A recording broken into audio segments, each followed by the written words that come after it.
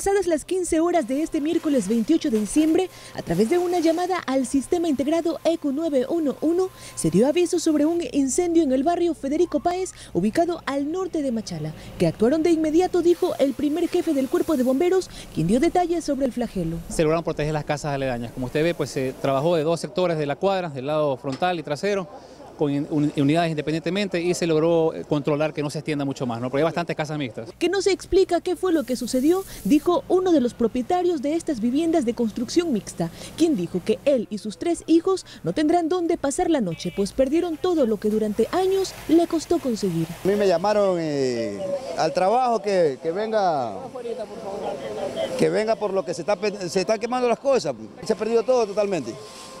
Ahora, nosotros cuando, estas son las casas que supuestamente el señor alcalde fue que nos reubicó aquí.